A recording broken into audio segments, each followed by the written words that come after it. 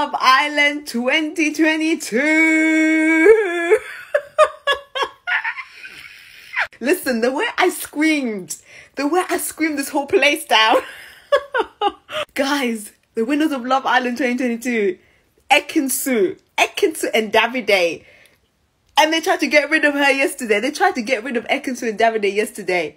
Can you imagine? Can you imagine? Massive, massive, massive congratulations to Ekin-Su and Davide, the winners of Love Island 2022. Listen, we all knew this was gonna happen. Deep down, we knew that these two were gonna win the show. They're iconic, their romance, their chemistry, their banter, their bickering, their arguments, Davide's one-liners. You're a liar, actress.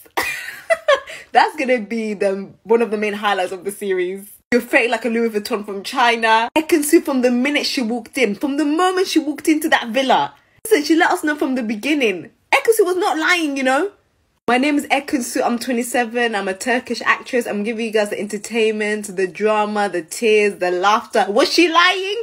Did she lie? Because week in, week out, she gave us the entertainment non-stop. The girl didn't fail to disappoint us, giving us the entertainment week in, week out. Yet yesterday, the Islanders tried to get rid of her.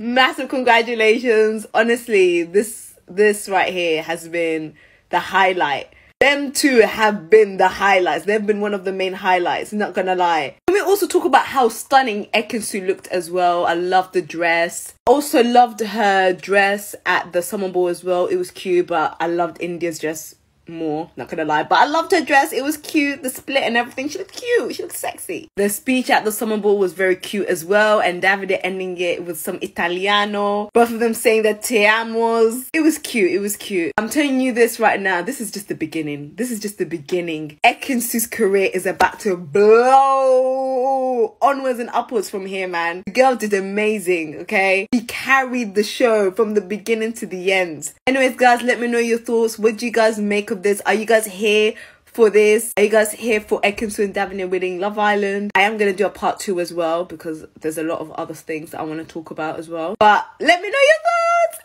I want to talk about Ekin who? Ekin who? Ekin-Su. Ekin-Su. Whether you like it or not, these two definitely brought a lot to the show. And so is the other islanders, of course. But these two, oh, they definitely brought a whole lot to the show. Davides and his one-liners have been going viral all over TikTok. Let's just be real.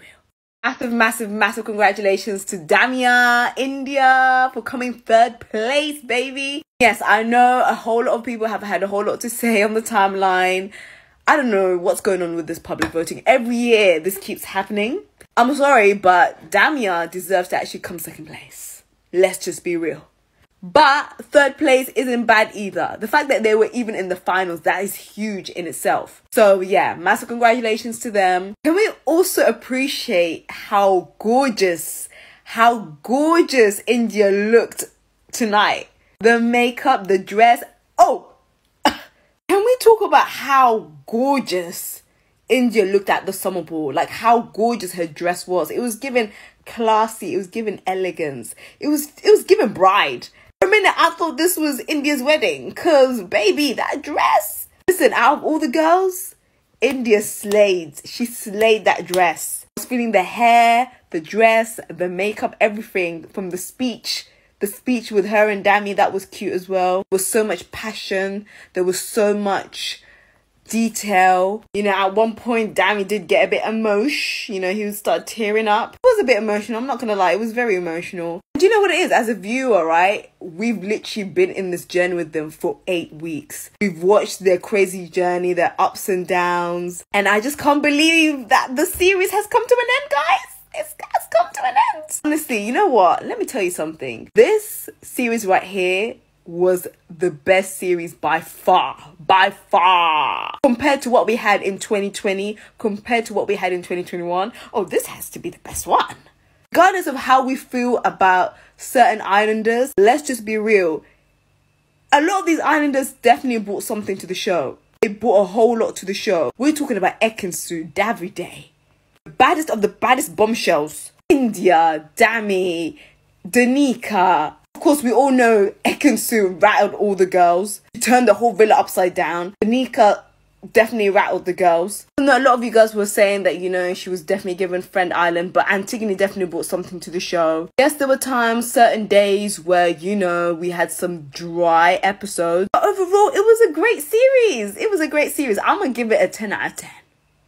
Or a 9. No, a 10 out of 10. Anyways, let me know what your thoughts. What do you guys make of the public voting? What do you guys make of the winners of Love Island, the runner-up, the third place, the fourth place? We all know that Tash and Andrew came fourth place as well. What do you guys make of this? Are you guys here for this? Honestly, man, I don't want the series to end, but it's been a very long eight weeks. I'm not gonna lie.